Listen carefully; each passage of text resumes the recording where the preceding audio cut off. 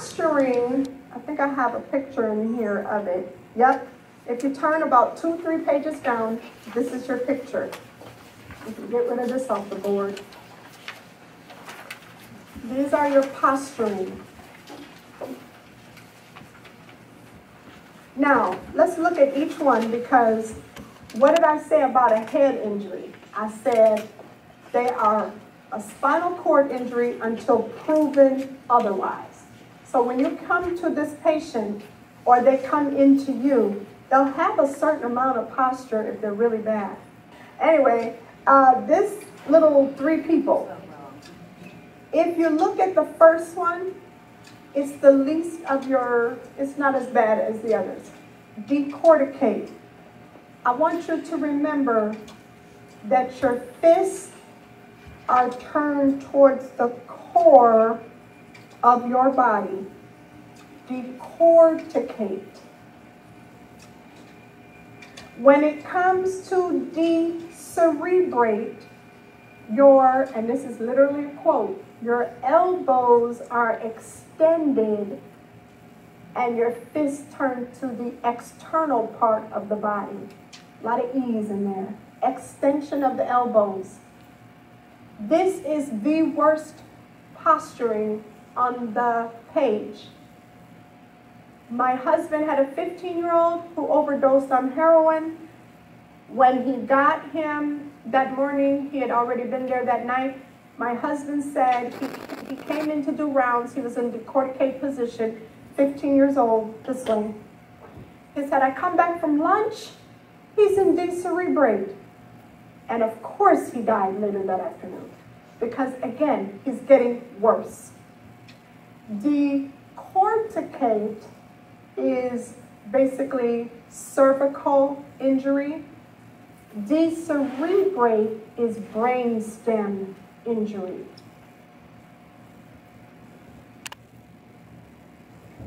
Flaccid is neurogenic shock, which means the same thing as spinal shock.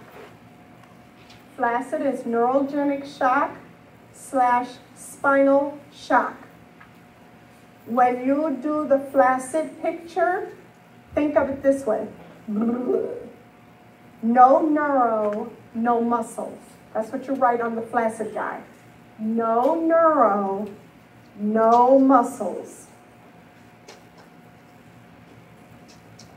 No neuro, no muscles. Don't you need um, a muscle to control your heart rate, everybody?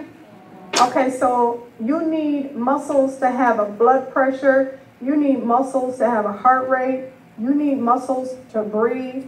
You need muscles for all kind of shit. So this patient ain't got shit. Seriously. All vital signs low. That's what you're going to write. All vital signs low. No neuro, no muscle. Whatever the temperature of the room, that's the temperature of your patient, called ambient temperature. Whatever the temperature of the room, that's the temperature of your patient. No neuro, no muscle, all vital signs low. What about bowel sounds? Absent. What about reflexes? Absent. They either incontinent or they're going to have uh, bladder retention, urinary retention. They either can't let it out or they can't hold it in because there ain't no muscles. Okay, so you know that this is important. This guy is the typical spinal cord injury and the worst spinal cord injuries of all time, and nothing has changed since they came out and they were they were created. Is motorcycle. Nothing in nothing nothing shit changed. It's still the worst. Uh, now, no matter which one of these guys you get, if they're at the scene, whatever position they're in, it doesn't matter. If it's a head injury, and they at least have a pulse. Don't move them. We told you, immobilize them. And then what you're doing is you're trying to put rolled up towels on the side of the neck so they don't do anything with their neck. When the ambulance comes, they're going to put them on a backboard, take their forehead. If this guy is a motorcycle accident, don't take his helmet off. never take their hat off. Hard hat, helmet, football helmets. If you ever seen a football game, which I've seen plenty of them, I'm still a die-hard Browns fan. These, this guy has this injury on the field, and I don't know if you really paid attention. The whole crowd says nothing. They're all silent. They're praying because we all know how bad this could get. So the crowd is silent. There's people around. They're not moving him. They're waiting to see if he can get up on his own or move on his own. When he doesn't, you get carried off, but you get carried off on a, on a headboard. Okay, and this, I'm good. Okay, so you know this. Now, I want to say some things. So I said decorticate was not as bad as decerebrate. Decerebrate is the worst one of all. Flaccid is what we see with a spinal cord injury that's really bad, and it's usually, you know, pretty serious. It is the first thing we're going to see, even though this guy may walk tomorrow. It's just the first thing we see usually. Now, when the reflexes return, it doesn't mean they can walk. You're going to have spasms. Remember that. Spasms, hyperreflexia is the next step after flaccid. It does not mean they can walk. Okay? So you start off with flaccid, which is no neural, no muscle. Then you move to hyperreflexia. This is when, look at the drugs, this is when you're going to need baclofen, maybe even dantrolene, because there's painful muscle spasms. Painful muscle spasms. baclofen, dantrolene for painful muscle spasms in your spinal cord injury or head injury that really is a spinal cord injury. Okay, now this patient who may have started as a head injury, but now is considered both spinal cord injury and head injury, this patient, because there's no neuro, there's no muscle, and because there's no muscle, the heart is a muscle, and because the heart is not really doing what it's supposed to do because there's no neuro, then you may need three things done very quickly. Number one, dopamine.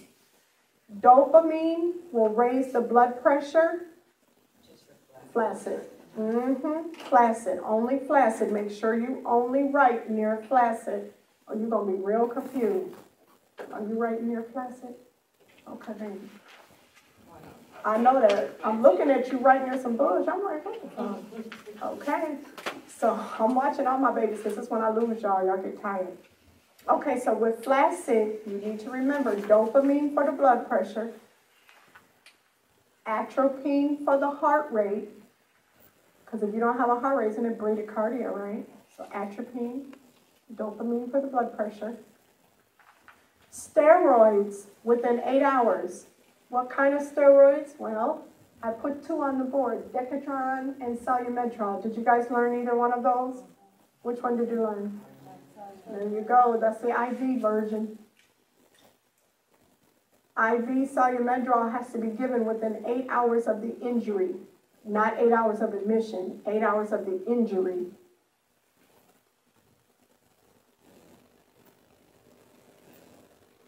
Okay?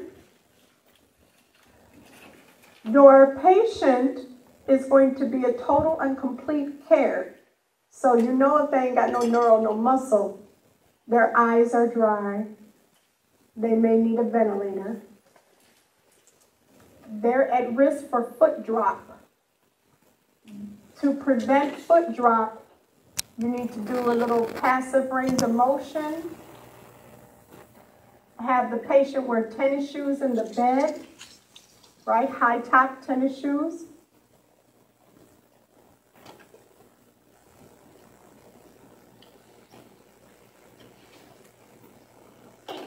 You need to make sure you put washcloths in the hands.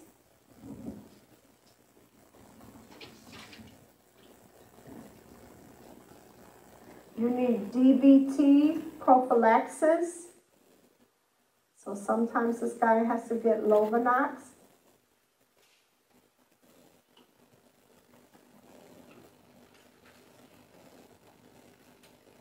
Progressive mobilization, that's all your care. Progressive mobilization. Stool softeners. NG suction.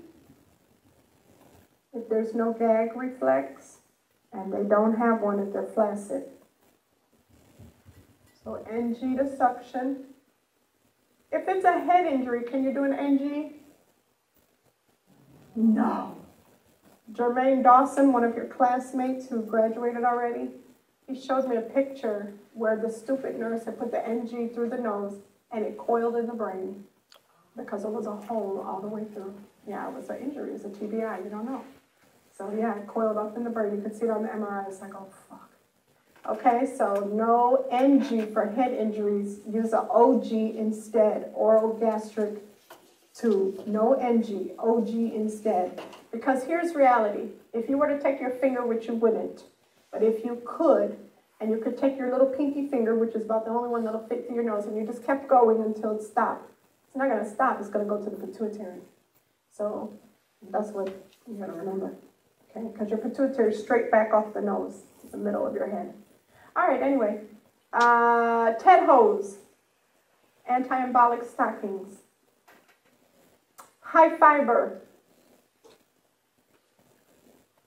You gotta weigh this guy every three days.